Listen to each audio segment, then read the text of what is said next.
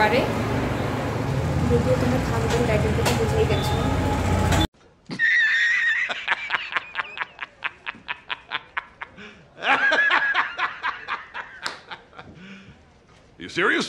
তো বন্ধুরা আমি এখানে আটশো গ্রামের মতন মাংস নিয়েছি।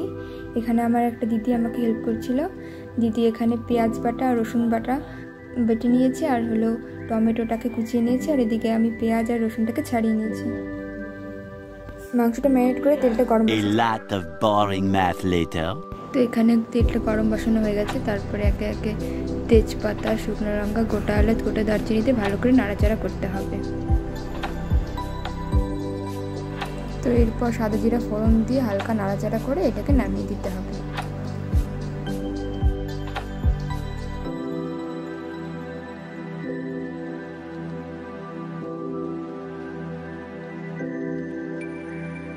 কড়াইয়ে আবার তেল দিতে হবে।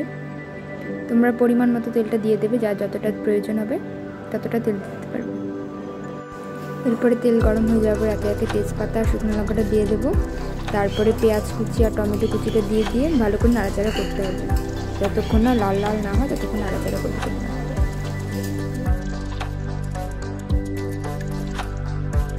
Two very boring বন্ধুরা, এখন দেখতে পাচ্ছি বেটে রাখা রসুনটা দেবো। দিয়ে হালকা নাড়াচাড়া করতে হবে।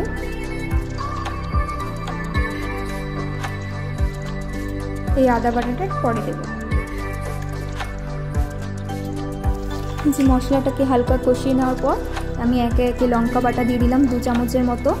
তারপরে দু চামচ হলুদ গুঁড়ো দিয়ে দেবো।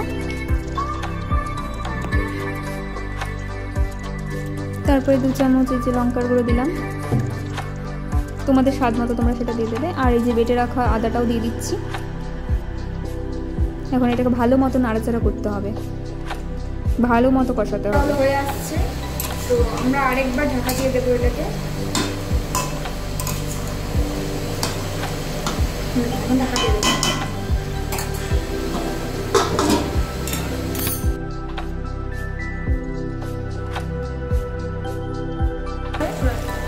দেখতেই পাচ্ছ এটা অনেকটাই হয়ে আসছে। দেখো একটু লাল লাল হয়ে গেছে, যদি লাল লাল হবে তখন বুঝবে যেটা হয়ে আসছে। তো তাও আমাদের এটা ঢেকে দিতে হবে।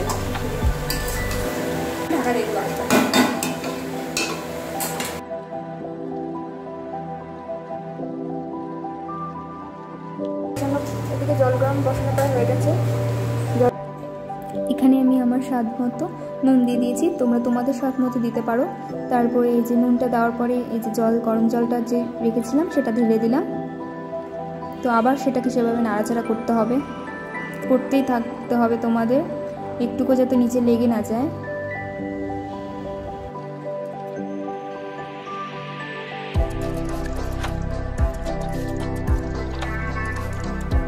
আগে যে উঠিয়ে রাখা মশলাটা ছিল সেটা তোমরা এখন দিয়ে দেবে এখানে।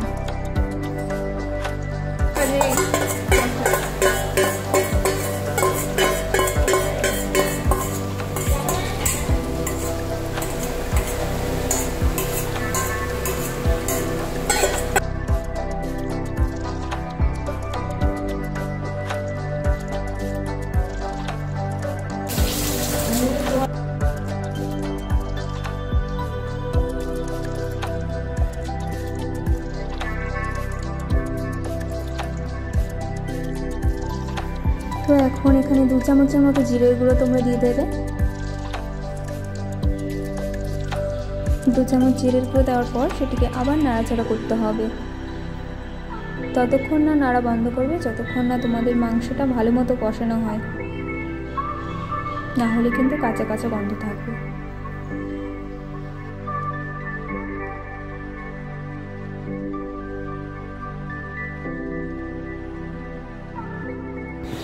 এখন এখানে দু চামচ গরম মশলা গুঁড়ো দিতে হবে।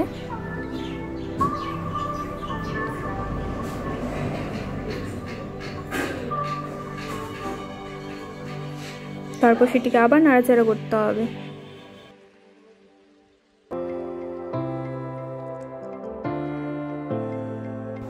যদি তোমাদের মনে হয় যে মাংসতে একটু লবণ বেশি হয়ে গেছে, তাহলে তোমরা একটা কাজ করতে পারো। স্বাদ আনার জন্য একটু ঘি দিতে পারো সামান্য পরিমাণে। তো সেটাতে তোমাদের স্বাদও বাড়বে আর তোমাদের লবণের পরিমাণটাও কমে যাবে। তো সেটা তোমরা করতে পারো। তো এই রান্নাটার পুরো প্রসেসটা তোমাদের প্রায় আধ ঘণ্টার মতো তো লেগেই যাবে। তো যেহেতু আমার রান্না এখন কমপ্লিট হয়ে গেছে, তো আমি এখন মাংসগুলোকে সব উঠিয়ে নিচ্ছি।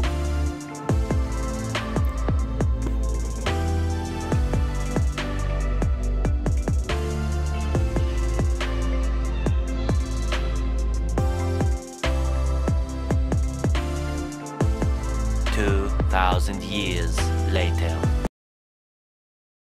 তো গাইজ ভিডিওটা তোমাদের যদি ভালো লেগে থাকে, তাহলে লাইক কমেন্ট শেয়ার করে দিও আর সাবস্ক্রাইব করতে একদম বলো না। পাশে থাকা বেল আইকনটি বাজিয়ে দেবে যাতে ভিডিওর সমস্ত নোটিফিকেশন তোমাদের সবার আগে আসে। তোমরা যদি এরকম কোনো রেসিপি চাও, তাহলে আমি নিশ্চয়ই দেবো। তার জন্য কমেন্ট করো। দেখা হচ্ছে নেক্সট একটা ভিডিওতে ততক্ষণের জন্য